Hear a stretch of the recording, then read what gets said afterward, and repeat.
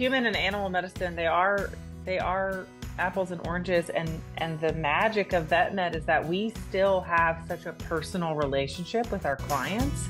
Our clients can call our practice and talk to their doctor that day. Like it that's one of the things that blows my mind sometimes and i have to catch myself in practice because if a client is getting impatient they're like i called dr Brinkmann this morning she hasn't called me back and it's like 3 p.m and you know like the crap is at the fan like like it's so busy there's no way i could have called in.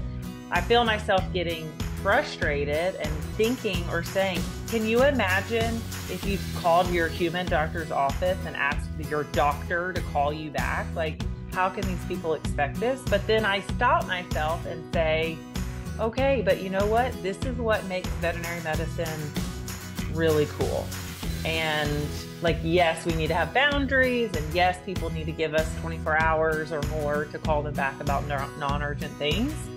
But like, that is the magic of vet med, and I don't want to lose that.